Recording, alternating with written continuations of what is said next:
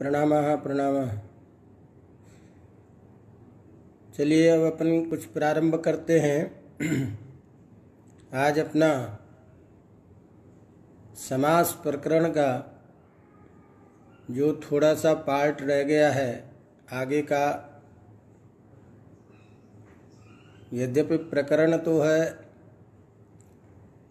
लंबा, लेकिन अपन उसी को लेके चल रहे हैं जो निर्धारित समय में अपना मुख्य जो उद्देश्य है, जो आप लोगों का अभी वर्तमान में काम है, परीक्षा की दृष्टि से और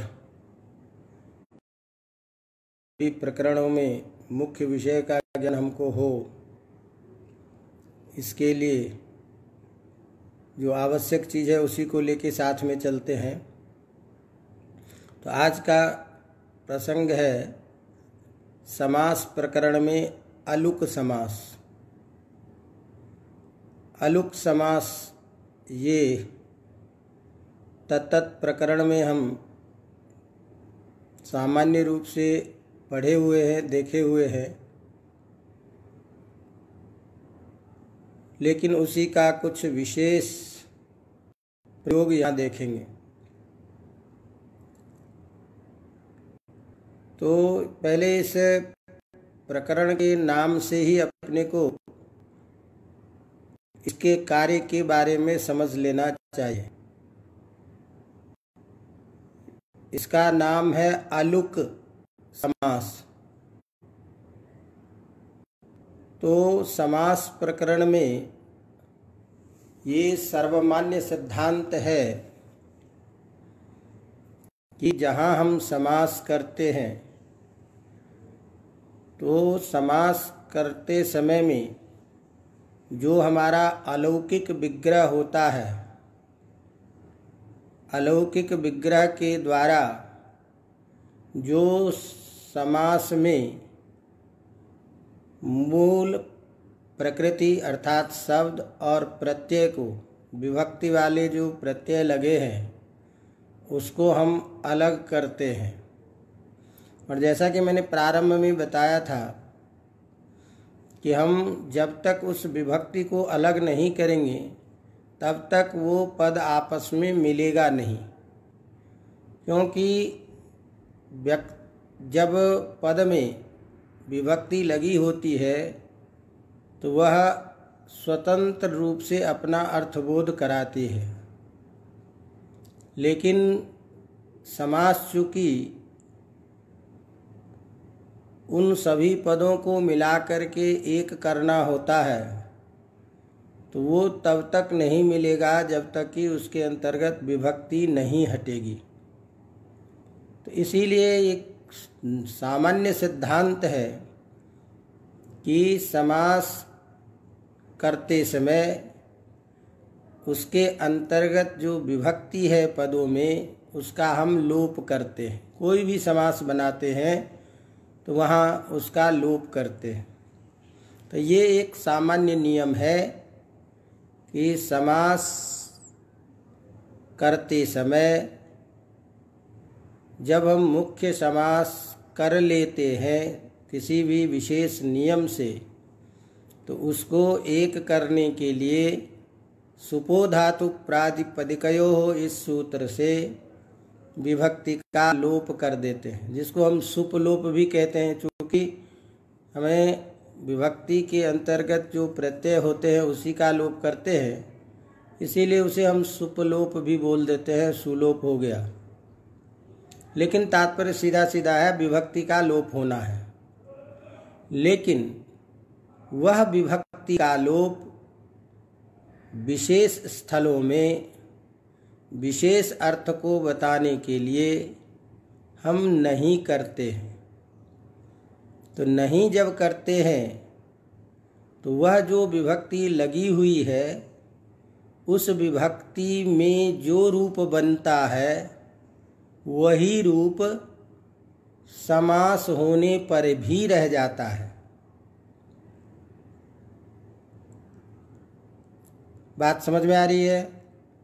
कि मान लीजिए कि किसी भी विभक्ति में हम, पंचमी विभक्ति में समास करने से पहले आत लगा करके प्रयोग किए हैं। तो जैसे है, मान लीजिए स्तोकात। तो स्तोकात मुक्त इस प्रयोग में हमने लौकिक विग्रह किया स्तोकात। ये पंचमी का रूप है।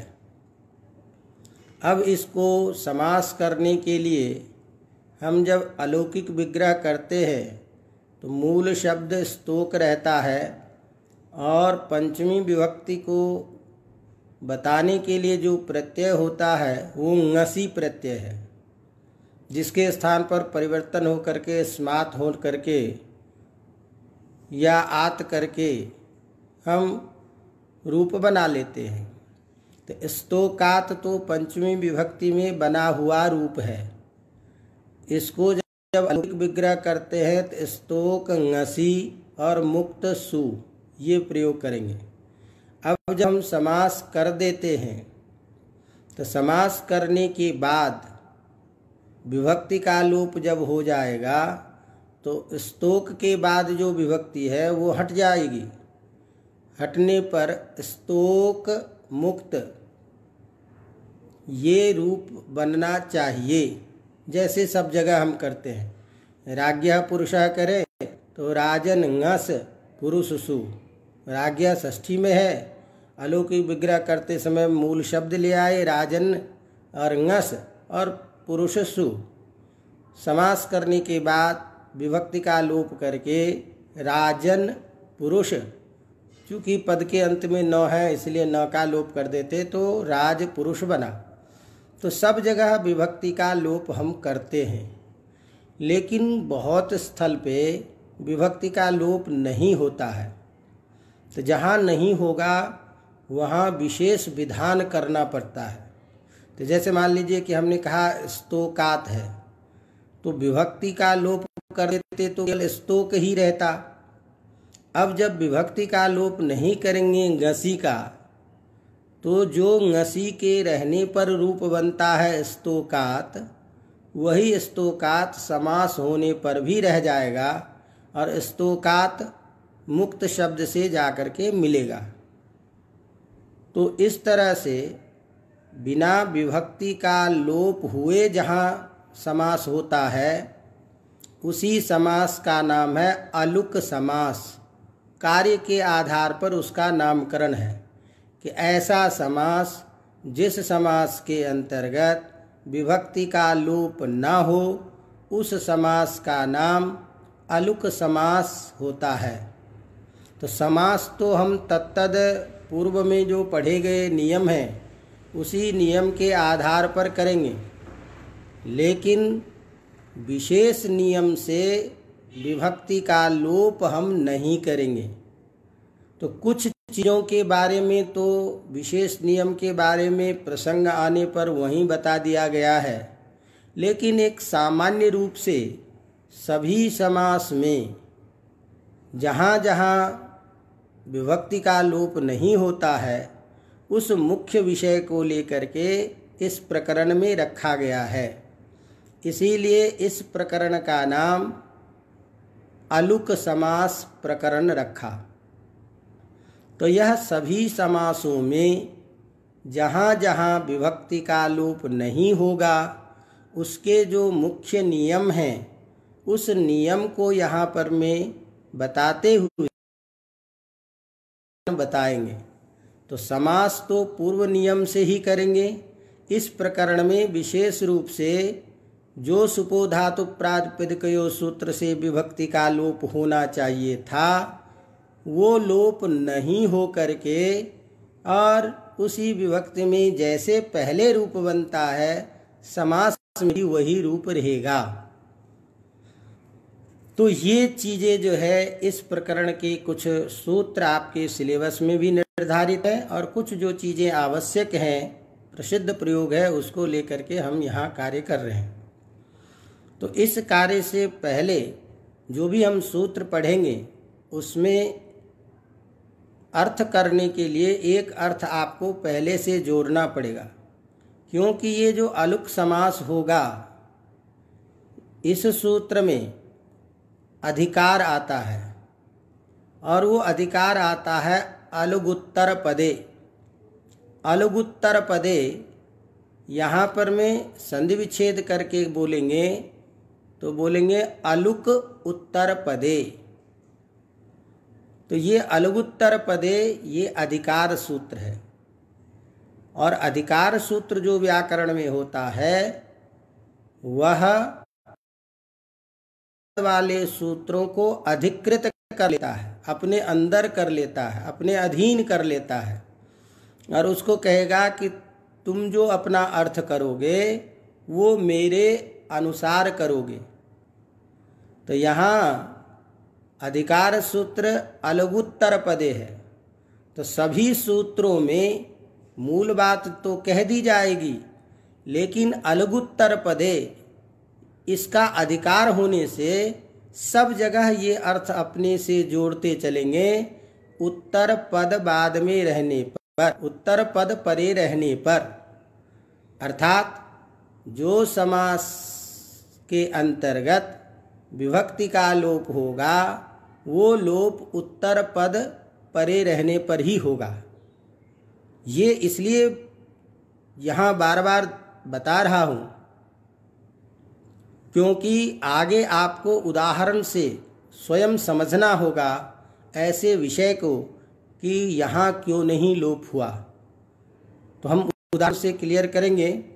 तो इसीलिए ये चीज़ ध्यान में रखिए कि विभक्ति का जो लोप होगा, वो उत्तर पद में रहने पर ही होगा। उत्तर पद कोई रहेगा, तभी होगा। उत्तर मने बाद वाला पद। तो बाद में पद रहेगा। एक चीज़ और यहीं पर मैं समझा देता हूँ। उत्तर पद जो है, ये समास का जो बाद वाला पद है, अंतिम पद, उस अर्थ में रूढ़ है। तो समास के चरम अवयव जो है, उस अर्थ में ये उत्तर पद शब्द रूढ़ है।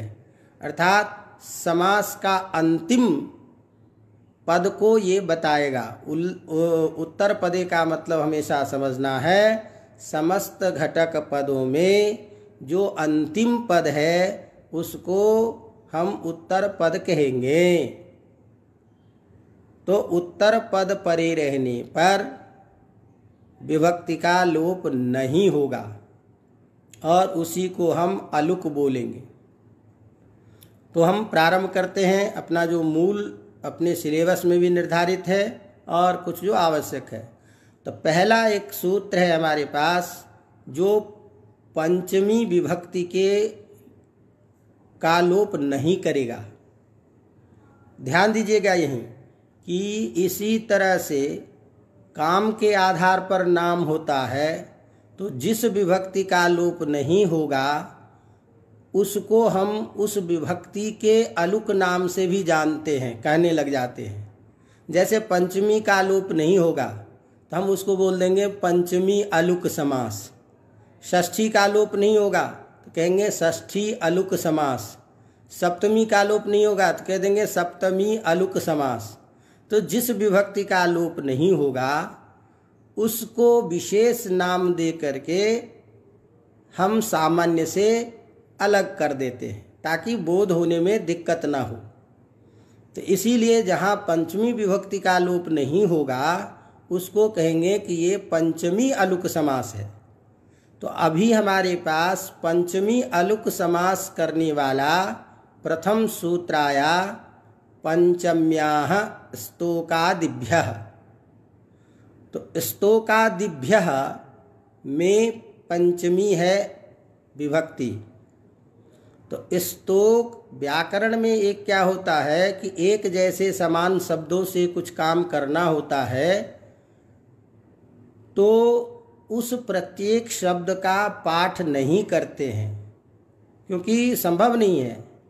तो प्रत्येक शब्द का पाठ नहीं करके अध्ययन की सुविधा के लिए उसका एक समूह बना देते हैं और उस समूह को ही गण बोलते हैं। गण मने समूह।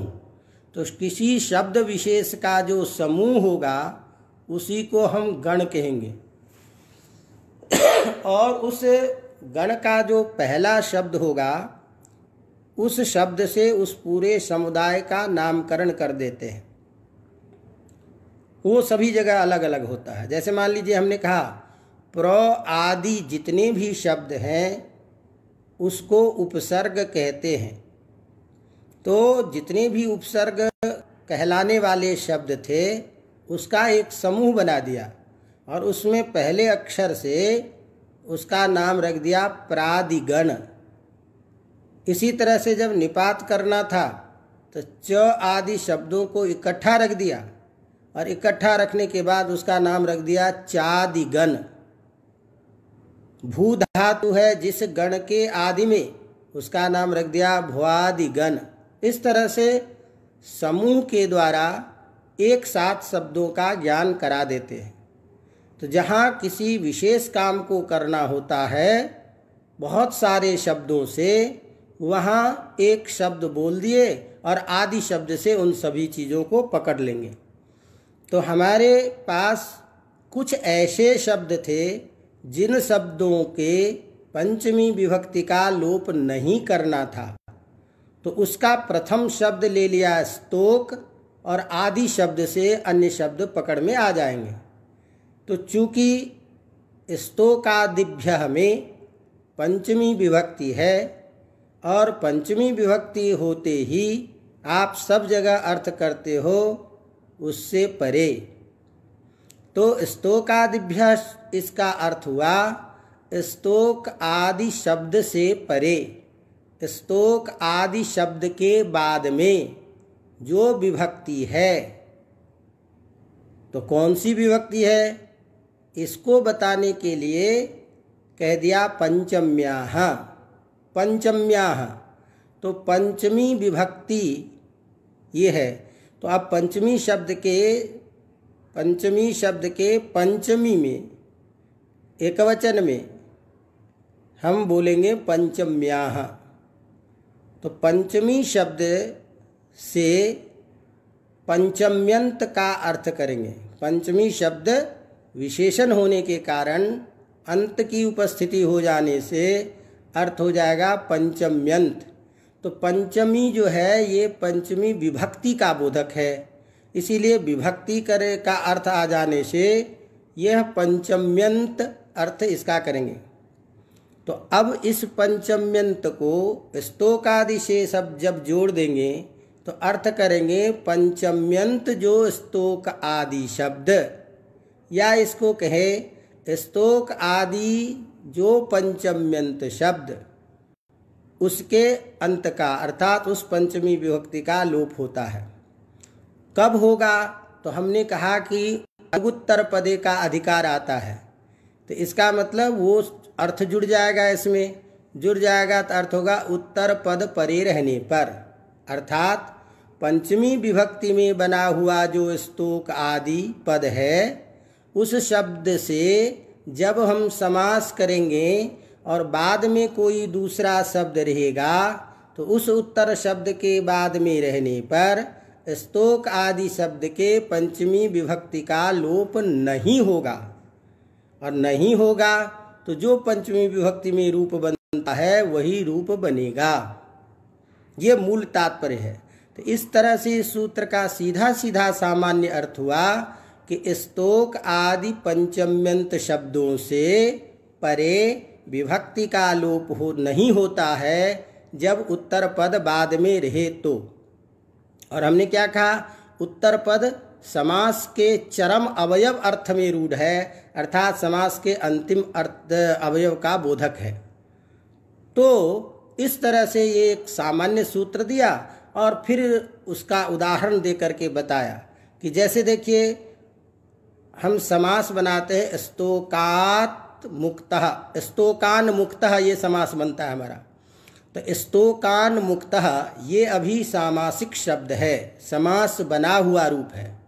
और इसका जब लौकिक विग्रह करेंगे तो स्तोकात मुक्त ये हमारा लौकिक विग्रह अलग अलग वाक्य का अर्थबोध है।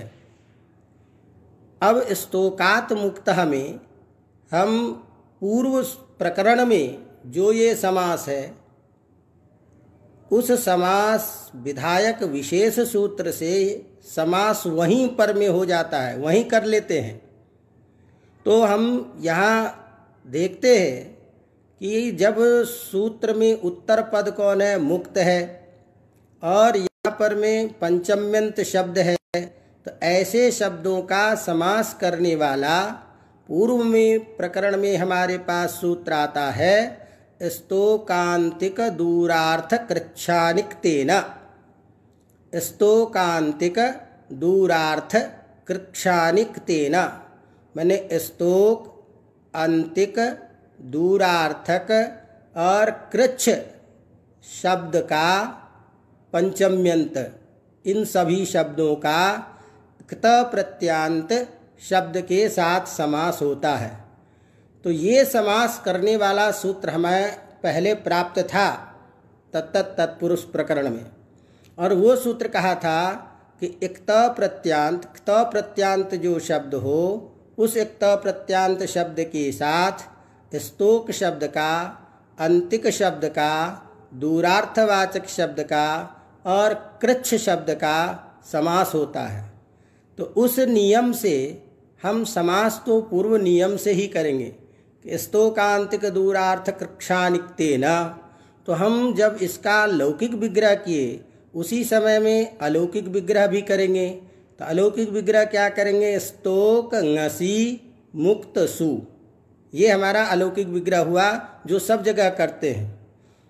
और अलौकिक विग्रह समास करने के लिए करते हैं। वाक्य को, पद को मिलाने के लिए करते हैं। इसका लोक में प्रयोग नहीं होता, इसीलिए हम इसको अलौकिक विग्रह बोलते हैं।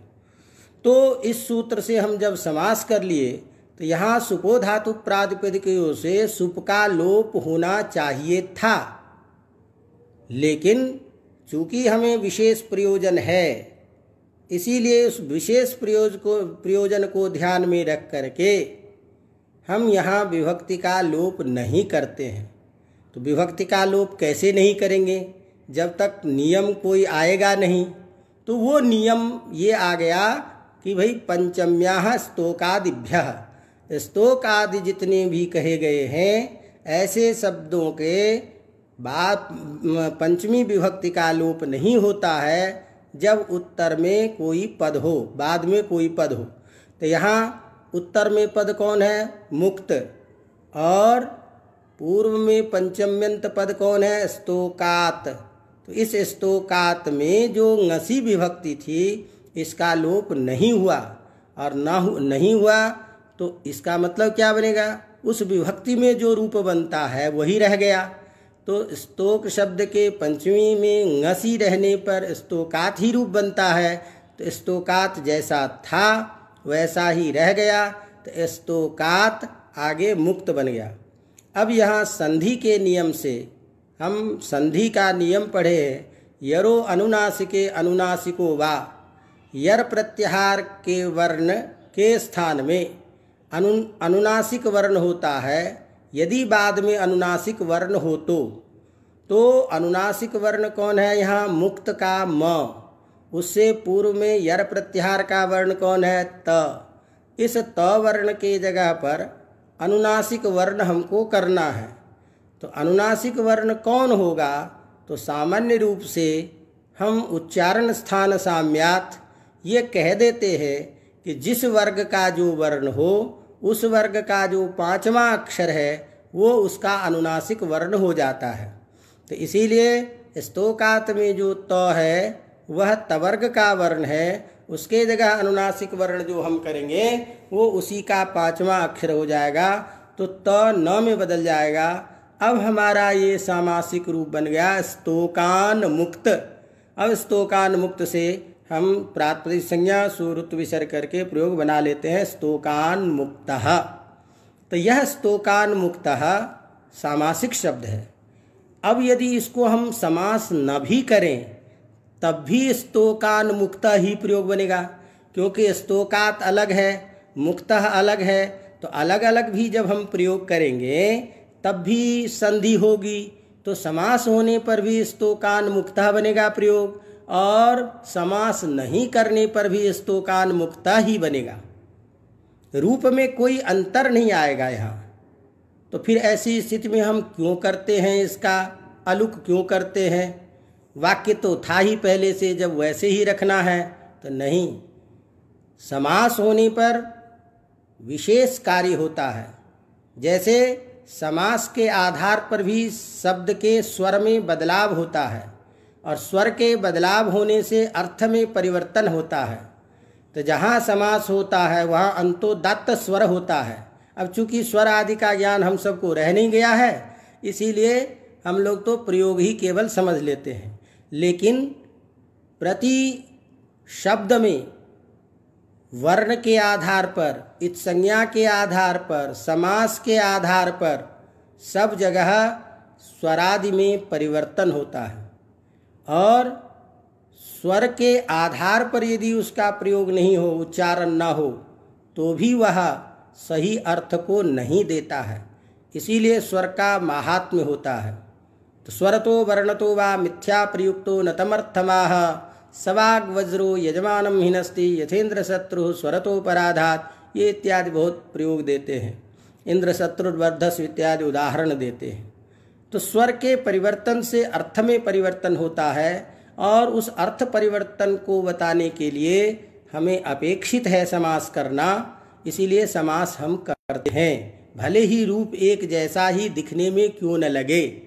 लेकिन अर्थ में दोनों में अंतर आता है। विशेष विशेषण भाव के आधार पर भी जब हम वाक्य का प्रयोग करते हैं, तब जब समास का प्रयोग करते तो भिन्नता होती है।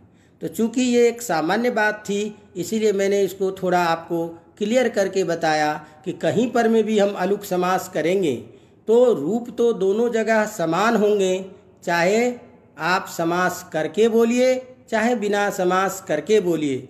लेकिन दोनों में अंतर है। उस अंतर के लिए ये विशेष विधान होता है। तो हमको परीक्षा में ये प्रश्न पूछता है यहाँ विशेष रूप से कि इस प्रयोग में विभक्ति का लोप क्यों नहीं हुआ? या किस सूत्र से नहीं हुआ? या उदाहरण दे करके पूछ देगा यहाँ सूत्र बताइए। या सूत्र दे करके पूछ देगा इसका उदाहरण बताइए। या सूत्र के अर्थ को बताने के लिए आपको प्रश्न बना देगा कि भाई पंचम में स्तोक आदि शब्द से पंचमी विभक्ति का लोप नहीं होता है। कब? उत्तर पद बाद में परे रहने पर या इत्यादि। तो ये सब सूत्र के अर्थ के साथ साथ प्रयोग की जो स्थिति है, उसको हमको समझना चाहिए। अब इसी तरह से सूत्र में जब आदि पद कह दिया तो आदि पद से जितने भी हैं, वो सभी को ले लेते हैं। तो दूरात आगत, दूराद आगत, कृच्छाद आगत कृच्छाद आगत, अल्पाद आगत, अल्पाद जो भी आदि शब्द से पकड़ में आता है वो सारे के सारे ग्रहण कर लिए जाते हैं। अब इसलिए अभी हमने आपको कहा कि ये उत्तर पदे जो है, ये उत्तर पद समास के चरमावयव में रूढ़ है, अर्थात समास का चरम मैंने अंतिम अवयव को बताता है। अन्यथा यदि ये नहीं होता, मान लीजिए तो नहीं होता तो सूत्र का अर्थ क्या होता? कि समस्त घटक स्तोक आदि पदों का जो विभक्ति है, पंचमी आदि विभक्ति, उसका लोप नहीं होता है। यही तो अर्थ होता। भाई, आप अलुगुत्तर पदे का अधिकार नहीं आता। अर्थ क्या होता कि पंचम्यंत जो स्तोक आदि पद है, उसके विभक्ति का लोप नहीं होता है। यही होता अर्थ। तो पंचम्यंत का लोप नहीं होता या विभक्ति का लोप नहीं होता कहाँ? समास में। इतना ही तो अर्थ होता। तो ऐसी स्थिति में बहुत सारे ऐसे प्रयोग बनते हैं। जैसे मान लीजिए उस उदाहरण दे रहा है, स्तोकान निस्तोक स्तोकान निस्तोक। तो यहाँ पर में जो विभक्ति है, उसका भी यदि आप लोप नहीं करते तो स्तोकात शब्द है यहाँ।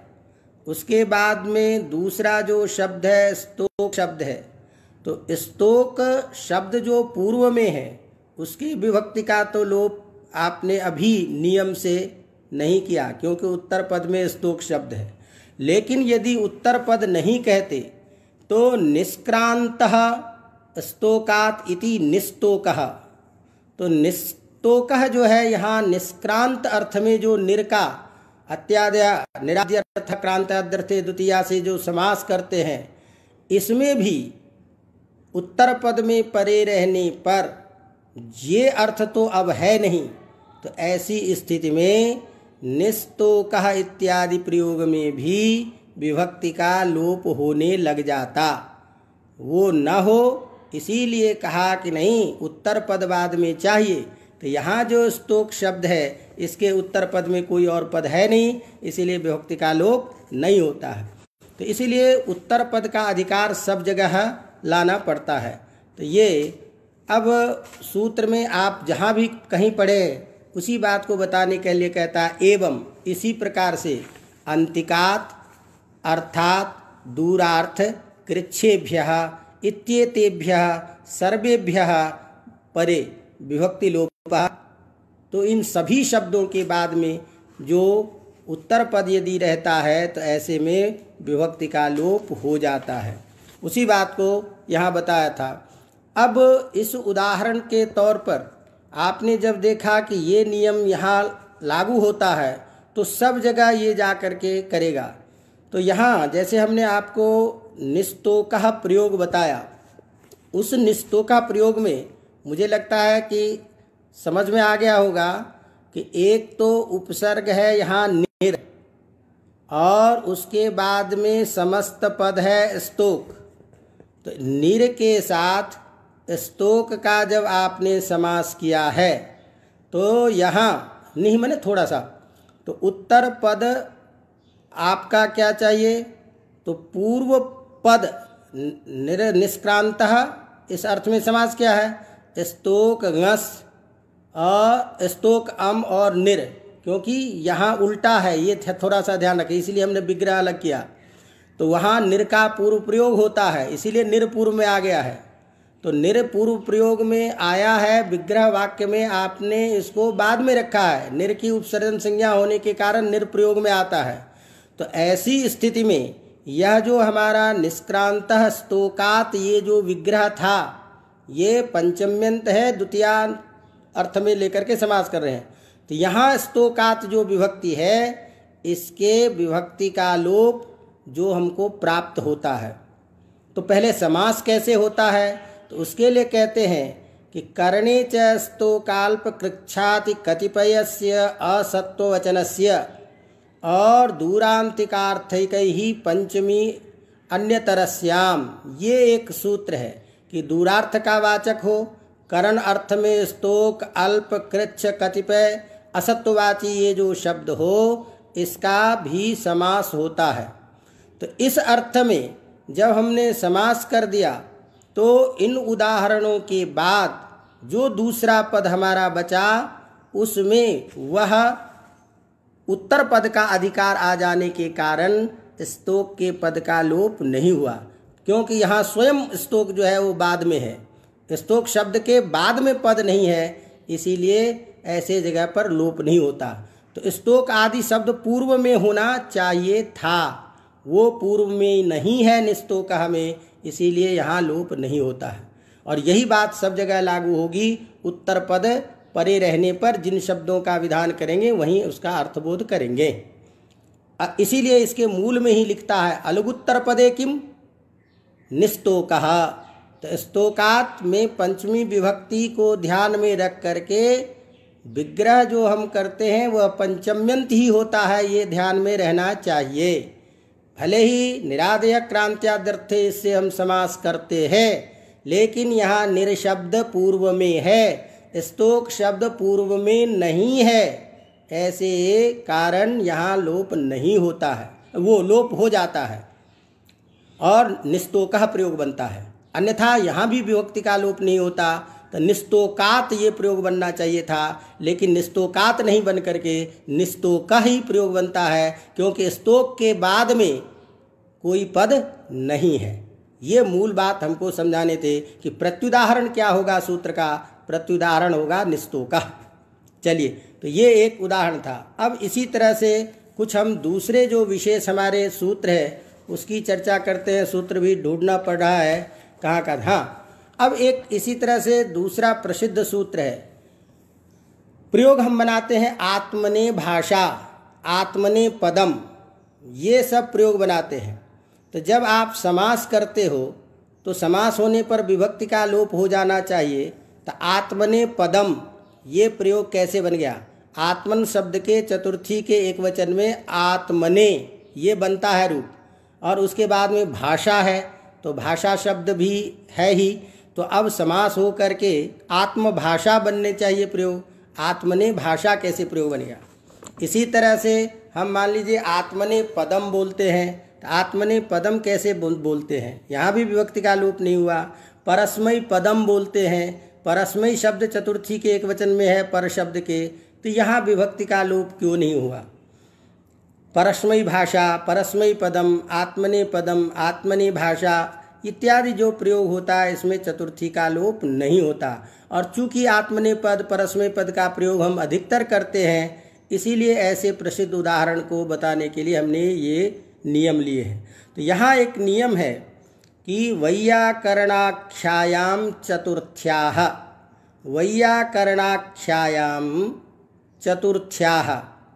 ये चतुर्थ्या का मतलब चतुर्थ्यंत, चतुर्थी विभक्ति के चतुर्थी है अंत में जिसके ऐसे चतुर्थ्यंत विभक्ति का चतुर्थी शब्द है, चतुर्थी विभक्ति है, जिस शब्द के अंत में उस चतुर्थी विभक्ति का लोप नहीं होता है। कहाँ नहीं होता है? तो एक विशेष अर्थ को बताने के लिए सूत्र में कहते हैं, वैयाकरणाख्यायाम। तो वैयाकरण को अभी अलग कर दीजिए। आख्यायाम को अलग कीजिए। तो आख्या अर्थ विशेष होने पर तो यहाँ आख्यायाम, आख्या विषय इत्यर्थ मैंने आख्या विषय हो तो आख्या किसे कहते हैं? सामान्य रूप से कहने अर्थ में, बोलने अर्थ में। तो यदि व्याकरण से संबंधित कोई चीज़ कथन में हो, व्याकरण की भाषा, व्याकरण से संबंधित आख्यान ये यदि कथन के रूप में प्रयोग होता है, ऐसी स्थिति में जो चतुर्थी विभक्ति है विग्रह वाक्य में, उसका लोप नहीं होगा। कहा, कहाँ, किस कब? तो नियम दे दिया कि आत्मन इत्येव। ये चतुर्थी विभक्ति का लोप वही नहीं होगा जहाँ आत्मन शब्द हो। तो इतने सारे अर्थों को ला रहा है इस सूत्र में। तो इसलिए इस सूत्र का जब हम पूरा अर्थ करते हैं तो कहते हैं कि व्याकरण, अब ध्यान दीजिए, वैयाकरण शब्द प्रसिद्ध है। व्याकरण शब्द है, और एक बात और भी बता दो, वैयाकरणी भी शब्द प्रयोग बनता है। वैयाकरणी, क्योंकि भाषा का विशेषण है, ध्यान दीजिए तो भाषा का जब विशेषण होगा तो भाषा स्त्रीलिंग में है।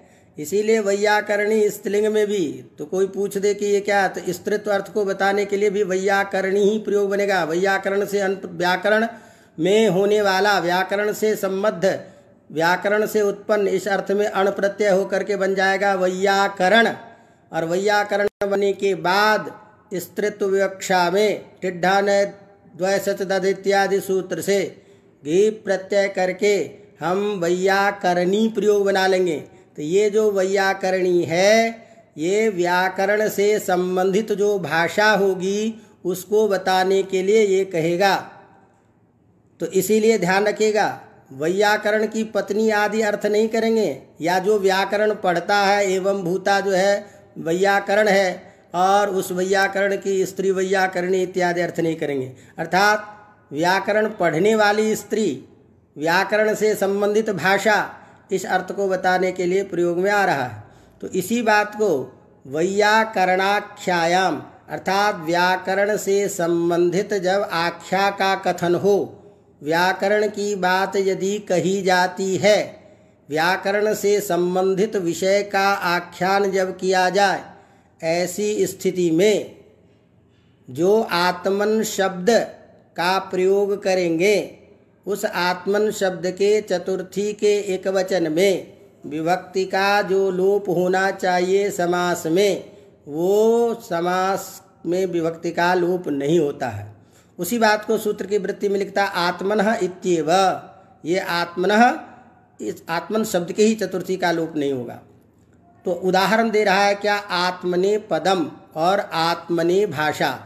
तो यहाँ दो उदाहरण दिया। एक तो आत्मने पदम और एक आत्मने भाषा।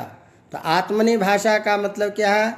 स्वयं के लिए कही गई भाषा, स्वयं के लिए कथन। तो कथन को जोड़ दीजिएगा, व्याकरण संबंधी कथन इत्यर्थ। तो इस अर्थ को बता करने तो हमने क्या कहा कि व्याकरण यहाँ केवल भाषा के लिए प्रयोग होने के कारण उसका स्त्रिंग में ही प्रयोग करेंगे। तो वैयाकरणी या भाषा, सा भाषा भाषा वाच्यायाम उस भाषा के वाच्य होने पर आत्मन शब्द का यदि प्रयोग किया जाए, अपने लिए व्याकरण से संबंधित भाषा का प्रयोग करें तो भाषा के साथ, भाषा को व्याकरण के साथ जोड़ दीजिए, तब पंक्ति लगेगी। ये भाषा सामान्य भाषा नहीं है। व्याकरण से संबंधित भाषा का यदि ज्ञान करना हो तभी अन्य भाषा का ज्ञान करेंगे, तब तो दिक्कत आ जाएगी। इसीलिए ऐसे अर्थ में आत्मन शब्द के प्रयोग होने पर चतुर्थी विभक्ति का लोप नहीं होता है। उसी कहते हैं वैयाकरणी साच असौ आख्या इति वैयाकरणाख्या, तासाम, उस भाषा के कथन अर्थ होने पर चतुर्थी आत्मन शब्द के चतुर्थी का लोप लोप नहीं होता इत्यर्थ। तो आत्मने पदम, यह व्याकरण में जो कही जाने वाले विशेष नियम है कि अपने लिए जब प्रयोग करना हो, तब क्या करें? आत्मने पद का प्रयोग करो। ये कहाँ बोला जाता है? क्रिया को बताने के लिए। कहते हैं ना, धातु दो प्रकार के होते हैं। एक आत्मने पदी एक परस्मय पदी तो आत्मने पदी और परस्मय पदी जो ये अर्थ है, अर्थात ऐसे जब क्रिया का फल कर्ता स्वयं के ऊपर में ले रहा हो कर्ता कोई कार्य अपने लिए कर रहा हो तो ऐसी स्थिति में क्रिया का प्रयोग आत्मने पद में करना चाहिए। ये सामान्य नियम है। तो उस नियम को बताने के लिए हम प्रयोग करते हैं कि आत्मने पद धातु का प्रयोग होना चाहिए। अहम कार्यम करिष्ये। तो आजकल तो बच्चे को, पंडितों को पता नहीं रहता है। यजमान के घर में भी जाता है तो संकल्प क्या करता है? अहम पूजनम करिष्ये। तो पूजा करने का फल तो स्वयं के ही ऊपर ले लेता है। तो यदि आप यजमान के लिए पूजा कर रहे हो, यजमान के लिए तो वहाँ प्रयोग होना चाहिए। संकल्प में हम पूजनम करिष्यामी, क्योंकि पूजा का फल यजमान को मिलना चाहिए। लेकिन किताब में जैसे लिखा रहता है, पूजनम करिष्ये तो वही बोलेगा, पूजनम करिष्ये। तो ये कहा कि नहीं, क्रिया का फल यदि आपको स्वयं को लेना हो तो आप आत्मने पद जो धातु है, उसी क्रिया का प्रयोग करें। तो इसके लिए प्रयोग है तो ये व्याकरण में संज्ञावाचक शब्द है। व्याकरण की कथा को, आख्या को बताने के लिए शब्द प्रयोग आया है, व्याकरण भाषा विशेष के लिए। इसीलिए यहाँ आत्मने पद जो है, ये वैयाकरण की आख्या का विषय है और आख्या का विषय होने के कारण यहाँ चतुर्थी विभक्ति का लोप नहीं होता है। इसी तरह से जैसे हम आत्मने पदम बोलते हैं अपने पाणिनि व्याकरण में इसी तरह से अन्य व्याकरण में इसी व्याकरण की भाषा को कथा कहने के लिए आत्मने भाषा शब्द का भी प्रयोग है। तो इस तरह से दोनों ही व्याकरण विषय से संबंधित होने के कारण एक जगह भाषा को भी लेकर के प्रयोग दिया और एक जगह पद को लेकर के प्रयोग दिया। तो ये दोनों उदाहरण जो है, व्याकरण संबंधी विषय को कहने के लिए प्रयोग में होता है, इसीलिए ऐसे जगह विभक्ति का लोप नहीं होता। और इसी तरह से, इसी तरह से हम परस, परस्मयी शब्द का प्रयोग करते हैं तो वहाँ भी बिल्कुल इसी तरह से समझ जाना चाहिए। तो पर शब्द का भी प्रयोग हो, उसके लिए अलग नियम दे दिया, सूत्र दे दिया, परस्य च, मैंने पर शब्द से भी चतुर्थी विभक्ति का लोप नहीं होता है, आत्मन शब्द के प्रयोग होने पर। तो परस्मय पद और आत्मने पद दोनों को प्रयोग के लिए तो एक जगह पर शब्द को मान करके जब विभक्ति का लोप नहीं करते हैं तो परस्मय पदम प्रयोग बन जाता है। एक जगह जब आत्मन शब्द को लेकर के प्रयोग करते हैं तो आत्मने पदम प्रयोग बन जाता है।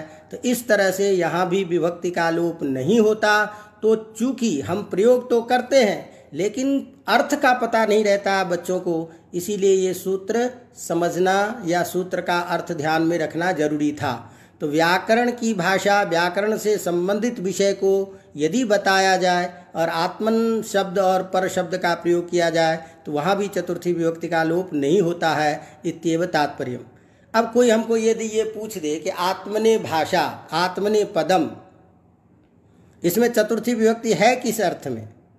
चतुर्थी विभक्ति है परस्य इति पृथक अस्ति सत्यम प्रथ परस्य इति पृथक सूत्रम।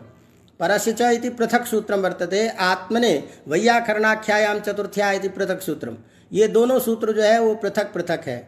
तो उसमें विषय दे दिया और उसमें पूर्व सूत्र से आत्मन की अनुवृत्ति अनुवृत्ति आ रही है और बाद में चूँकि पर शब्द को भी लेना था, इसीलिए सूत्र बनाया परस्य च ये पृथक सूत्र है, दोनों अलग अलग सूत्र है।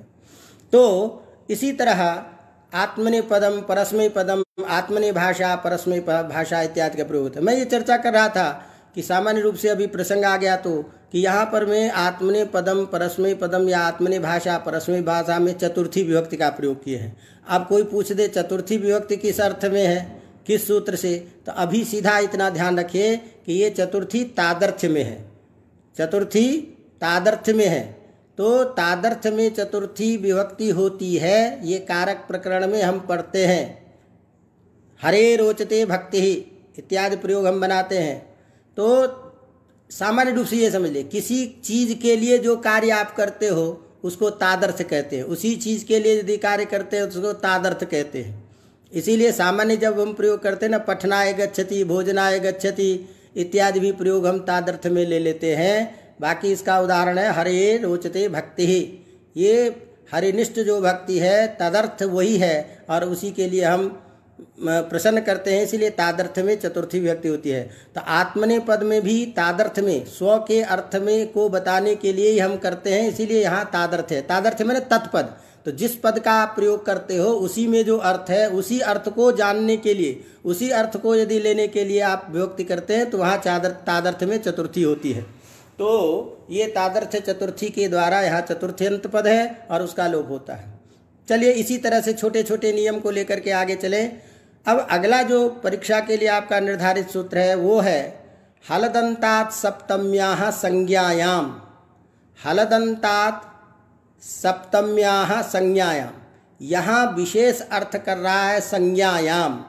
संज्ञा मने नाम अर्थ होने पर भी, नाम का वाचक होने पर भी, किसी का यदि नाम हो तो। ये अगले तीसरे नियम पे पहुँच रहे हैं अलुक समास में। तो पहला नियम आपने पढ़ा, दूसरा नियम आपको वैयाकरणाख्या के द्वारा बताया, तीसरा नियम बता रहे हैं कि हलदंता सप्तम्या संज्ञायाम। तो संज्ञायाम में सप्तमी विभक्ति है वही तो संज्ञा अर्थ होने पर।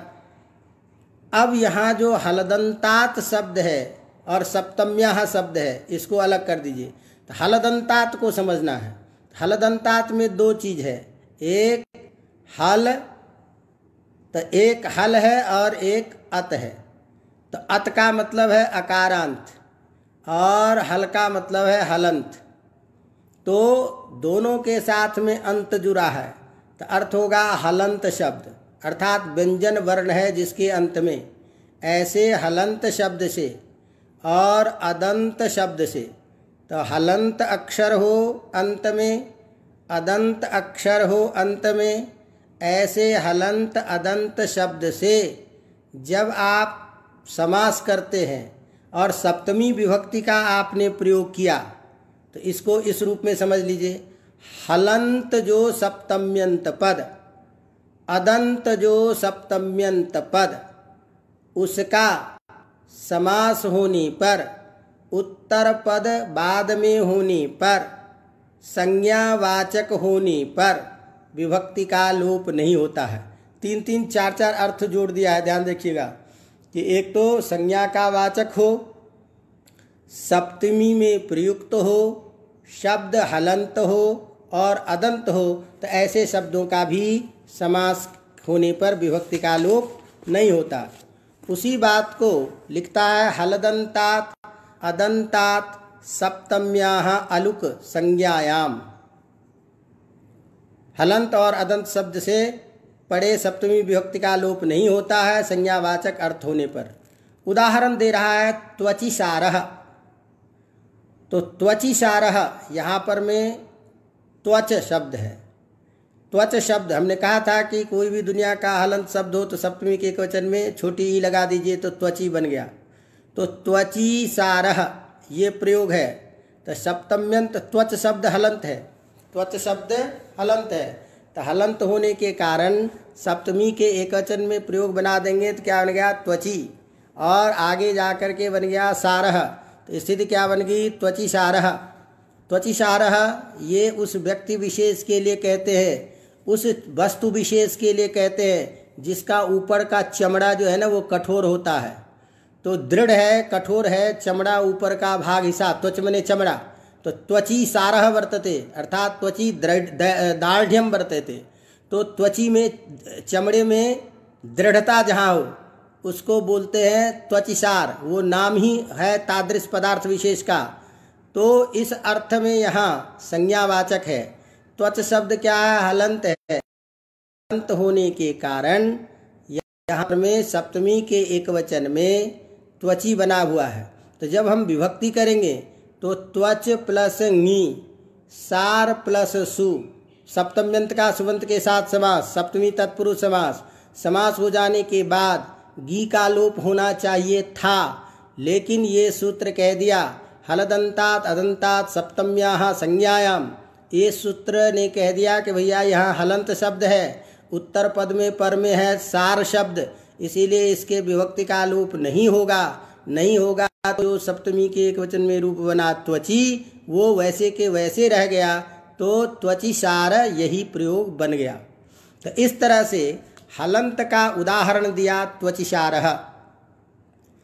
अब इसी तरह हमारे पास आपने दूसरा उदाहरण दिया क्या कि अदंत शब्द भी होना चाहिए। तो अदंत शब्द का उदाहरण में एक विशेष प्रयोग देता है, जिस प्रयोग का, जिस शब्द का प्रयोग हम अधिकतर करते हैं। जैसे बोलते हैं हम युधिष्ठिर युधिष्ठिर, गविष्ठिर इत्यादि प्रयोग।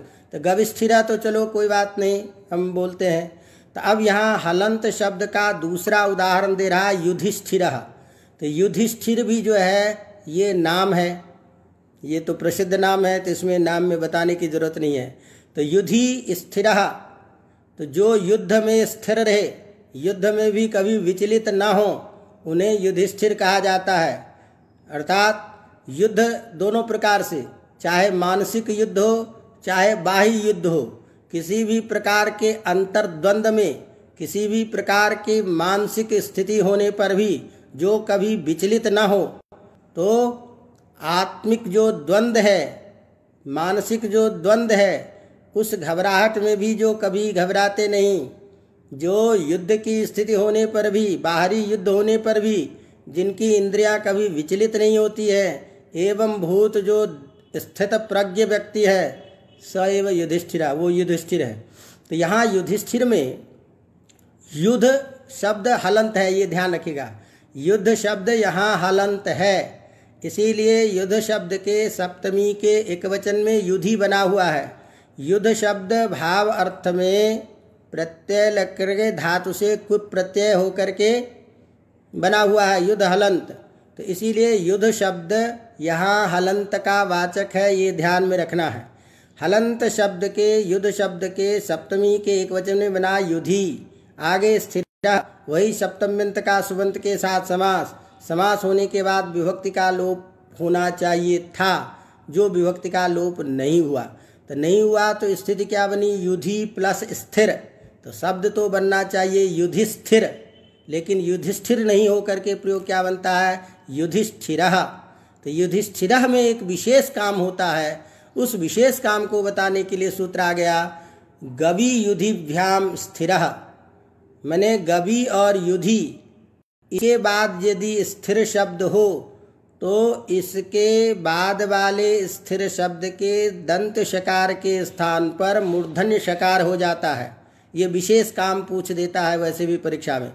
तो गवि शब्द के बाद, युधि शब्द के बाद यदि स्थिर शब्द होता है तो उस शब्द के स के स्थान पर मूर्धन्य आदेश हो जाता है।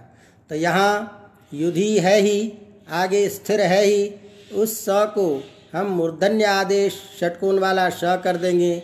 तो युधि श थीर। अब श के साथ में, षटकोण वाले श के साथ में थ का योग होने के कारण हमारे पास सूत्र है जो स्तुत्व करता है स्टुनाष्टु तो स्टुनाष्टु सूत्र से तवर्ग का जो द्वितीय वर्ण है, उसके जगह टवर्ग का द्वितीय वर्ण हो जाएगा। तो युधिष्ठिर बन गया। तो इस तरह से परीक्षा में यहाँ ये भी प्रश्न पूछ देता है कि युधि स्थिर है, इसका रूप क्या बनेगा? और समास बनने के बाद यहाँ कैसे, ठ कैसे हुआ? या यहाँ कौन सा विशेष नियम लगता है? तो यह विशेष नियम तो गभी युधिभ्याम स्थिर जो सूत्र है, वो शत्व का ही है। लेकिन यहाँ जो विभक्ति का लोप नहीं हुआ, वो हलदंतात, अदंतात, सप्तम्या, संज्ञायाम जो सूत्र है, उस सूत्र विशेष के ही कारण। तो ये दोनों उदाहरण जो था, इसी तरह से गविस्थिरा तो गविस्थिरा में यहाँ भी गो है और गो के बाद यहाँ प्रत्यय लगा करके पहले गबी बना हुआ है, ये ध्यान दीजिएगा। तो गो के स्थान में अब आदेश होने के बाद जब गबी गव शब्द बनता है, उस गव शब्द के सप्तमी के एक वचन का रूप है गबी तो इसीलिए गो शब्द से बना हुआ जो गब उस गब के सप्तमी के एक वचन का रूप है गबी इत्यर्थ। केवल यहाँ भी ये ध्यान रखने की ज़रूरत है। अब यहाँ गबी स्थिर, इस गबी मैंने गाय जहाँ बांधे थे जाते हैं, स्थिर गो गोस्थर इत्यादि, गाय के बांधने के स्थान, जगह विशेष इत्यर्थ। तो अब यहाँ प्रयोग आपको दे रहा है तो उसी में अब यहाँ भी गभी तो यहाँ इसके बाद में स्थिर शब्द होगा, इसी सूत्र से वही स को हो जाएगा, गविष्ठिरा भी प्रयोग बन जाएगा। तो गविष्ठिरा, अब यहाँ एक चीज़ ये है। तो यह जो हलदंतात, अदंतात, सप्तम्या, अलुक है तो अभी बहुवीर बहुब्री समाज जब हम पढ़ रहे थे तो समानाधिकरण बहुब्री हो रहा था। तो हमने कहा कि नहीं, व्यधिकरण बहुब्रीही भी होता है। तो बहुत, व्यधिकरण बहुब्रीही भी होता है तो हमने कहा कैसे पता लगा? तो वहाँ आपने एक सूत्र दिया था कि भाई इस सूत्र के कारण सप्तम्य, सप्तम्युपमान पूर्व पदस्य इस सूत्र के द्वारा सप्तमी ने बहुब्रीह जो सूत्र था उसमें सप्तमी विशेष ने बहुब्रीह सूत्र में सप्तमी पद के उल्लेख के कारण व्यधिकरण बहुब्रीही होता है, ये हमको पता चला था। लेकिन अन्य प्रकरण में, तत्पुरुष आदि प्रकरण में कर भी समास होता है। ये जानकारी कैसे मिली? तो इसीलिए ये भी सूत्र ध्यान में रखिए। कि हलदंतात अदंतात सप्तम्या संज्ञायाम जो सूत्र है, यही सूत्र व्यधिकरण समास होने में ज्ञापक है। तो व्यधिकरण बहुब्री में तो वो ज्ञापक था, व्यधिकरणे समासो भवती, इसीलिए गविस्थिरा युधिस्थिरा सारे सप्तम व्यधिकरण समास है ये। समानाधिकरण समास और व्यधिकरण समास। तो व्यधिकरण समास में भी ये सूत्र प्रमाण है, ज्ञापक है। तो व्यधिकरण समास अवयम ज्ञाप का ये एक विशेष बात है ध्यान में आ गई अचानक, इसीलिए यहाँ बता दिया। तो हलदंतात, अदंतात इसीलिए लिखा है आव्यम मैंने अस्मादेव ज्ञापक, अतएव ज्ञापका व्यधिकरण समास इति बोध्य। तो इस सूत्र के द्वारा जो सप्तम्यंत का लोप नहीं किया गया है, यदि व्यधिकरण समास होता ही नहीं तो सप्तम्यंत पद होने का प्रश्न नहीं था। तो ये सूत्र कैसे बताया? तो इसलिए इस सूत्र के सामर्थ्य से व्यधिकरण भी समास होता है, ये बात भी ज्ञापित होती है। चलिए इसी तरह से, अब यहाँ अदंत का उदाहरण देख रहा, दे रहा एक अरण्य तिलकाह तो अरण्य तिलकाह में यहाँ अकारांत शब्द कौन हो गया? अरण्य। और उसके बाद में शब्द आपका है तिलक। तो सप्तम्यंत जो है अरण्य में तो यहाँ भी अरण्य शब्द के बाद में घी आना चाहिए। घी का लोप होना चाहिए था, लेकिन वो लोप नहीं होकर के सीधे के सीधे प्रयोग बना दिया। अरण्य तिलका है तीर्थ तो ये अकारांत और हलंत शब्द का जो कहीं भी सप्तमी में प्रयोग होगा, उत्तर पद पर में रहेगा तो ऐसी जगह विभक्ति का लोप नहीं करेगा। तो ये एक थोड़ा सा सूत्र था। अब अगला सूत्र, इसी तरह से एक अब प्रसिद्ध एक सूत्र है। तत्पुरुषे कृति बहुलम। इसकी भी थोड़ी कुछ चर्चा कर लेते हैं। तत्पुरुषे कृति बहुलम।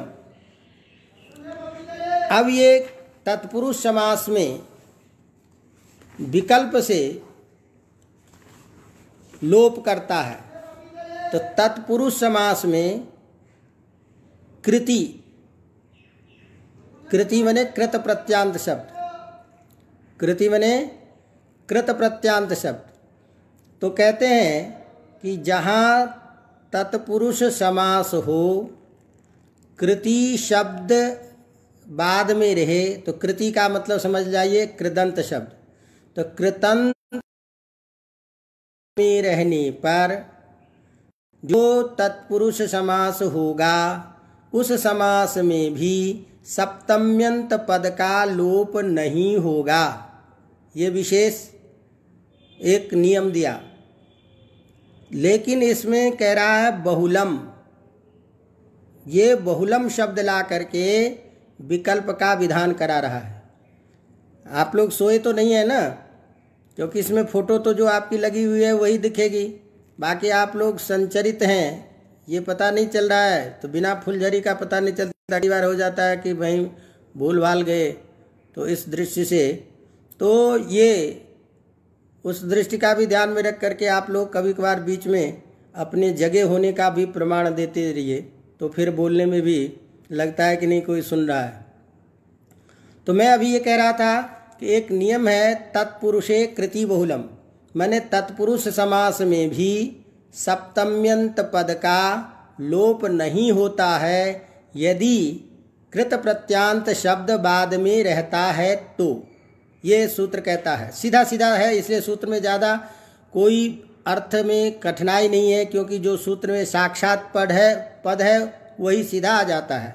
सप्तमी का पूर्व सूत्र से अर्थ आता है, अलुक पद पूर्व सूत्र से आ ही रहा है, अधिकार का है तो जो सूत्र में सीधे है, वो सीधे अर्थ करता है। तो यहाँ बहुलम शब्द का प्रयोग है। व्याकरण में विकल्प को बताने के लिए दो तीन प्रकार के शब्दों का एक तो वा, जो छोटा शब्द है, सीधा मतलब तो वो भी विकल्प का बोधक होता है। एक शब्द है अन्य तरस्याम अन्य तरस्याम भी विकल्प का बोधक है। एक है विभाषा, जो वो भी विकल्प का बोधक है। और एक बहुलम, ये भी विकल्प का ही बोधक है। हालाँकि ये सब अलग चर्चा का प्रसंग है कि समानार्थक है जब अर्थ सबका विकल्प है तो फिर ये अनेक प्रकार के शब्दों के द्वारा इसका व्यवहार क्यों करते हैं?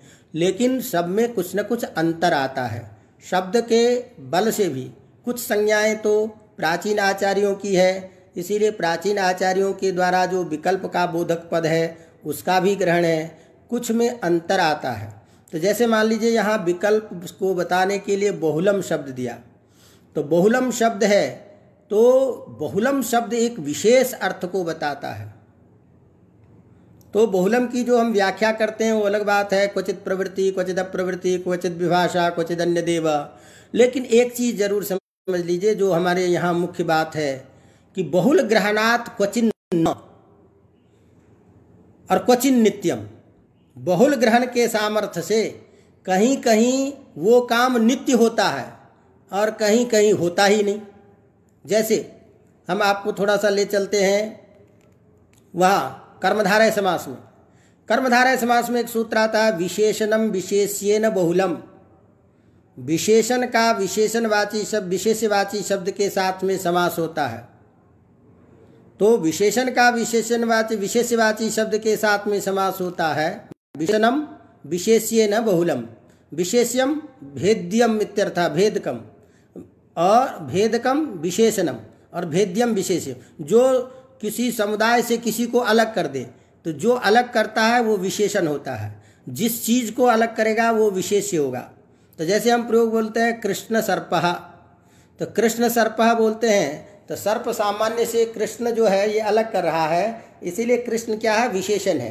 तो विशेषण हमेशा भेदक होता है, अलग करने वाला होता है। तो जो अलग करता है, वो तो होता है विशेषण। और जो चीज़ें अलग होती है, वो होता है भेद्य। तो एक भेद्य और एक भेदक। तो वहाँ पर में कहा कि जब आप कह रहे हो विशेषणम विशेष्य न बहुलम तो कृष्ण सर्प में भी कृष्ण सर्प अलग से प्रयोग होना चाहिए और कृष्ण सर्प अलग से होना चाहिए। तो कहा नहीं, कृष्ण सर्प में नित्य समास होता है। तो कहा कैसे? तो बहुल ग्रहणात्। बहुल ग्रहणात् क्वचिन नित्यम। तो बहुल ग्रहण से यहाँ नित्य समास है। इसीलिए कृष्ण सर्प में नित्य समास है। और क्वचिन न, कहीं नहीं भी होता है समास। जो होना चाहिए वो नहीं भी होता है। काकुत्र तरामो जामदग्न तरामो जामदग्न में समास होता ही नहीं।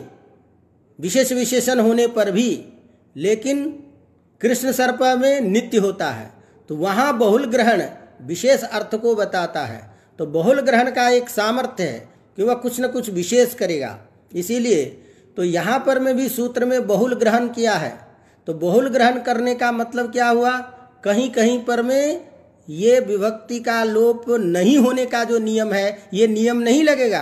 अर्थात कहीं लोप हो भी जाएगा। अर्थात कहीं लोप हो भी जाएगा। तो ये जो सूत्र कह रहा है कि कृदंत शब्द यदि बाद में रहे तो सप्तम्यंत जो पद होगा, ऐसे सप्तम्यंत पद के विभक्ति का लोप नहीं होता है।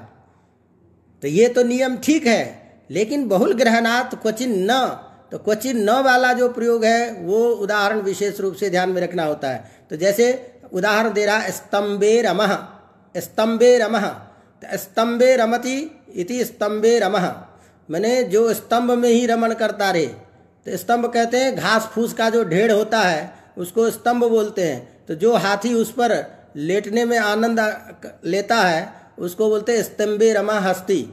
तो स्तंभे जो है, यहाँ पर में सप्तम्यंत पद है, और रमह जो है, ये कृत प्रत्यांत शब्द है, कृदंत शब्द है। तो इसीलिए कृत प्रत्यांत जो रमह शब्द, उस रमह शब्द के बाद में होने पर स्तंभे में जो सप्तमी विभक्ति है, उसका विकल्प से लोप हो जाएगा। तो विकल्प से लोप हो जाएगा तो एक पग में या यूँ कह लीजिए, इस सूत्र से विभक्ति का अलुक विकल्प से होगा। तो एक पक्ष में विभक्ति लगी हुई रूप बनेगी, एक विभक्त विपक्ष में विभक्ति का लोप हो जाएगा। तो जब विभक्ति का लोप नहीं करेंगे तो स्तंभे रमह भी प्रयोग बनेगा, और जब विभक्ति का लोप हो जाएगा, तब स्तंभ जप, स्तंभ रमह भी बनेगा। इसी तरह से करने जपह कान में मंत्र देने वाला तो कान में मंत्र देने वाला का मतलब यहाँ ध्यान दीजिए निंदा अर्थ में है। जो एक की बात दूसरे को करने, जा करके कहता है, चुगली करने वाले को बोलते हैं, करने जपह आदमी है ये। तो करने जपह में यहाँ जपह जो है, ये कृत प्रत्यांत है, और करने जो है वो सप्तम्यंत है। तो सप्तम्यंत करने का जपह के साथ समास होने पर जिस पक्ष में विभक्ति का लोप नहीं होगा, उस पक्ष में करणे जपह बनेगा। जब विभक्ति का लोप हो जाएगा तो कर्ण जपह ये प्रयोग बनेगा। तो इस तरह से यहाँ पर में सप्तम्यंत का विभक्ति का लोप नहीं हुआ, इसीलिए यहाँ अलुक समास है और यहाँ नियम आपको याद रखना पड़ेगा, तत्पुरुषे कृति बहुलम। क्वचिन्न जो कहा, इसका उदाहरण दे रहा, क्वचिन्न, जैसे कुरुचरह तो कुरुसु चरती थी कुरुचरह तो यहाँ चर जो है, चरेष्टा इत्यादि सूत्र से चरह जो है, कृत प्रत्यांत है। लेकिन कुरुसु में सप्तमी विभक्ति जो थी, उस सप्तमी विभक्त का लोप हो गया है। तो कुरुसु चरती इस विग्रह में सप्तम्यंत कुरुषु का नित्य लोप हो जाता है तो कुरुचरा ही प्रयोग बनता है। तो कोई पूछे कि तत्पुरुषे कृति बहुलम इस सूत्र से, यहाँ पर में विकल्प से सप्तमी विभक्ति का लोप न होने के कारण चरह ये भी प्रयोग बनना चाहिए कुरुचरह ये भी प्रयोग बनना चाहिए तो ये क्यों नहीं? तो आप बोलिए कि नहीं, सूत्रे बहुल ग्रहणात् क्वचिन न। सूत्र में बहुल ग्रहण के कारण कहीं कहीं ऐसा भी होता है कि जहाँ लोप हो जाता है, विभक्ति लोप का निषेध नहीं होता है। तो तत्पुरुषे कृति बहुलम इस सूत्र से विभक्ति का लोप, निषेध नहीं होने के कारण विभक्ति का लोप हो गया तो कुरुचरह ये प्रयोग बन गया। चलिए इसी तरह से छोटे छोटे शब्द थे। एक और हम आपको लेकर के इस प्रकरण को समाप्त करते हैं। एक हमारे पास नियम है। हाँ जिसका प्रयोग अधिकतर होता है इसीलिए। ये शब्द मात्र है, इसको ध्यान रखिए वार्तिक के द्वारा। एक वार्तिक है। वाक, दिक पश्यद्भ्यो युक्ति, दंड हरेशु वाक, दिक पश्यद्भ्यो युक्ति, दंड हरेशु ये दोनों जगह तीन तीन चीज़ है। अर्थ, ये तृतीयांत विभक्ति का लोप करेगा तो षष्ठ्यंत का लोप नहीं करेगा। तो एक शब्द है वाक, माने वाच शब्द, दिक दिशावाची शब्द, और पश्य शब्द तो पश्यत। पश्यत शब्द सत्री प्रत्यांत है। इन तीनों शब्दों के बाद क्रमिक युक्ति दंड हरेशु, ये शब्द यदि बाद में रहे, ध्यान रहे, ध्यान दे रहे हैं मतलब इधर भी तीन चीज़ है तो तीनों को एक एक से अन्वय कर लीजिए। मैंने वाच शब्द के बाद यदि युक्ति रहे, दिश दिशावाची शब्द के बाद में यदि दंड रहे, और यदि पश्यत शब्द के बाद में हर रहे तो ऐसी स्थिति में भी विभक्ति का लोप नहीं होता है। ये सीधा सीधा सूत्र का अर्थ है कि वाच शब्द के बाद युक्ति, इसके बाद में दिक शब्द के बाद में दंड और पश्यत शब्द के बाद में यदि हर रहता है तो वहाँ भी विभक्ति का लोप नहीं होता है। इसीलिए हम कहते हैं, वाचो युक्ति। तो तृतीयांत पद है, वाचा युक्ति। वाणी के द्वारा जो युक्तिपूर्ण बात कही जाती है, उसको हम वाचो युक्ति ही बोलते हैं। तो यहाँ देखिए, इसी बात को लिखता है, आभ्याम परस्य। हाँ। तो उदाहरण दे रहा है वाचो युक्ति इत्यर्थ। तो यहाँ शब्द क्या हो गया? एक सेकेंड एक सेकेंड हाँ हाँ। तो ये हाँ वाच। तो वाचा युक्ति षष्ठ्यंत ही है, षष्ठ्यंत का ही तो क्योंकि वाच षष्ठी में ही बने। तो वाच युक्ति ये स्थित है। तो इस स्थिति में वाचस शब्द से, वही वाच शब्द है तो वाच शब्द से वचस शब्द है। वाच वाच शब्द के षष्ठी के एक वचन में रूप क्या बनेगा? वाचस, ये ध्यान रखिए। वाच शब्द के षष्ठी के एक वचन में रूप बनेगा वाचस। तो यहाँ वाचस, इसके षष्ठी के एक वचन में वाचस वाचह रूप बनता है। तो वाचस ये षष्ठंत प्रयोग है। तो वाचस युक्ति ये विग्रह होगा। इस विग्रह में विभक्ति का मूल शब्द कौन हो गया? वाच। और उसके बाद में प्रत्यय कौन हो जाएगा? ngस तो वाच ngस युक्ति सु। षष्ठी तत्पुरुष से समास। समास होने के बाद विभक्ति का लोप होना चाहिए था। जो विभक्ति का लोप नहीं हुआ तो वाचस का वाचस ही रह गया। आगे युक्ति है तो वाचस युक्ति है। विभक्ति के लोप नहीं होने के कारण स को हम रुत्व, उत्व, गुण करके वाचो प्रयोग बना देते और वाचो युक्ति बन गया। स को सजुसो रू से रू, र को हसी च से उ आदुना से गुण होकर के प्रयोग बन गया, वाचो युक्ति।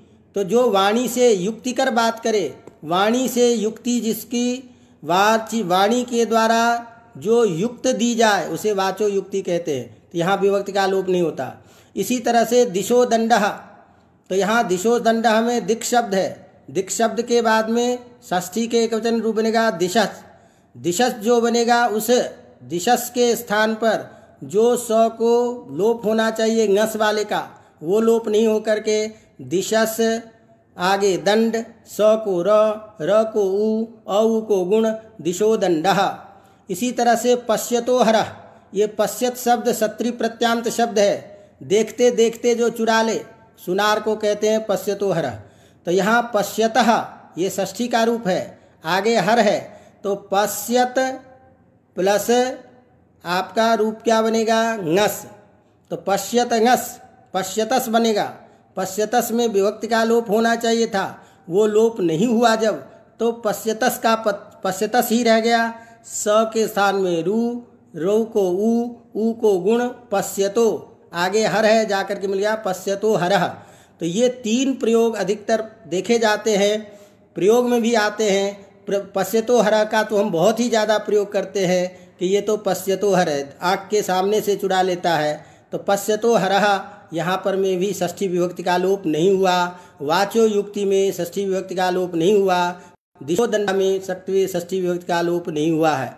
अतः ये कुछ चार पाँच उदाहरण थे, जो इस अलुक समास में अधिकतर प्रयोग में आते थे, जिसको मैंने आपके सामने रखा। तो सूत्र और उदाहरण के साथ में देखिए। इसी के साथ ये प्रकरण अब यहीं समाप्त होता है। और अगले प्रौढ़ मनोरमा के लिए फिर हम मिलेंगे दस पंद्रह मिनट के बाद में। तब तक के लिए आप सबसे विदा लेते हैं। धन्यवाद।